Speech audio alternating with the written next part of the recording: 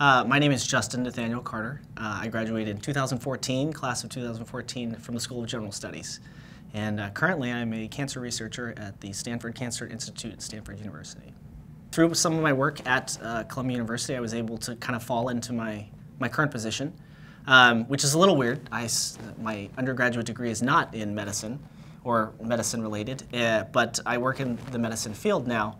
Um, I was uh, very involved when I was on campus. Um, I worked, I was the chief of operations for the ambulance corps here at the university. I worked throughout my entire time, my undergraduate career here.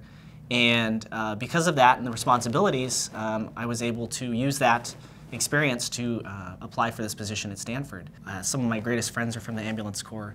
But uh, uh, specifically, one thing that I will remember is graduation day, we all hopped on the ambulance in our graduation robes, uh, several of us, and uh, we got yelled at by the same uh, security people that we work with uh, all the time because, of course, the, the, the, the trend that that says people, future graduates are going to jump on the ambulance and make a big mess. But um, we got a great picture on top of the ambulance in our graduation robes, and we actually submitted that to a calendar, and that was published uh, this year for the May month, right, the graduation month. And so I, I have that lovingly framed on my wall uh, back home, but um, I have many fond memories of my time here and my friends.